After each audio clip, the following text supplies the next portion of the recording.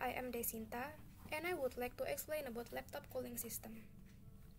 This is the outline of what I'm gonna explain in this video. Okay, first, let us go to introduction.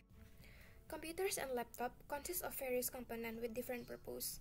Some of the components can generate heat, such as CPU, GPU, HDD, and ODD. Then, if the component of the laptop can generate heat, why is laptop temperature not as hot as stove or iron? The answer is simple, because laptop has the cooling system to cool down the hot component. Then are you wondering about how is the cooling system in laptop work? If yes, just follow this video until the end.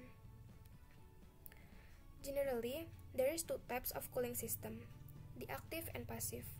Active cooling process use fans or blowers to generate additional airflow around the body of the laptop.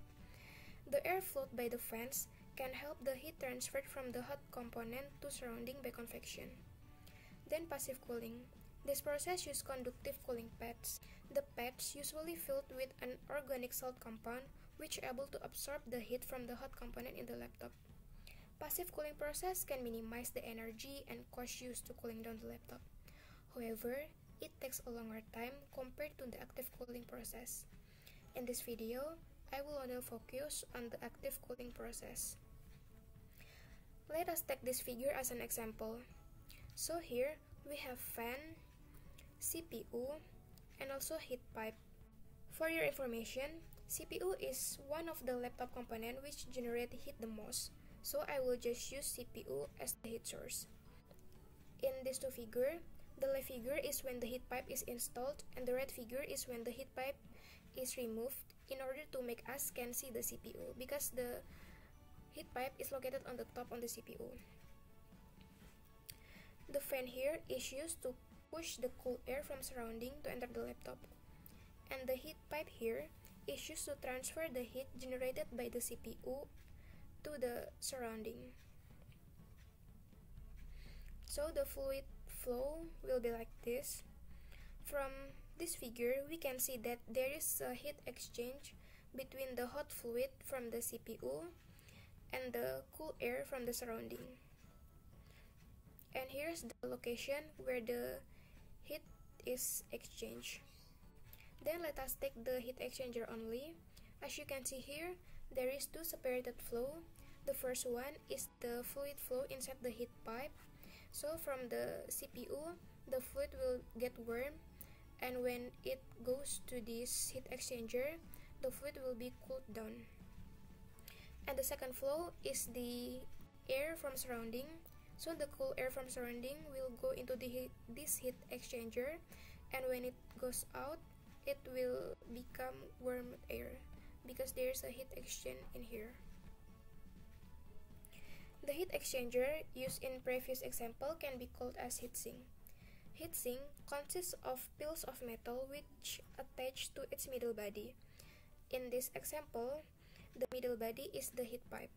And in heat transfer course, we know that the amount of heat transferred by convection will be increased as the area is increased. So by having the control volume in shape of heatsink, there will be more heat transferred. To analyze the heat exchanger, there are some assumptions that can be made such as 1. The heat exchanger is well insulated 2. Potential and kinetic energy change are negligible 3. The fluid specific heat is constant 4. The overall heat transfer are constant and 5.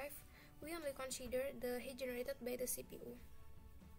By this assumption, there are some limitations on the heat exchanger analysis, such as 1.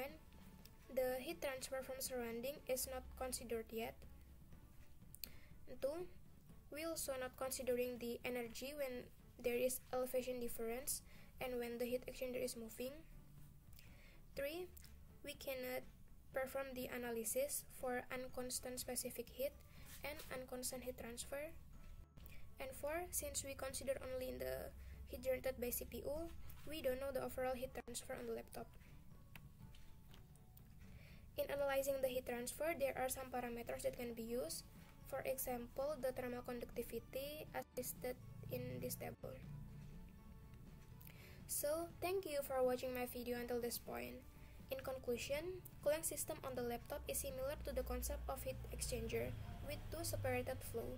The heat transfer analysis from laptop cooling system can be started by drawing the schematic and then listing the assumptions.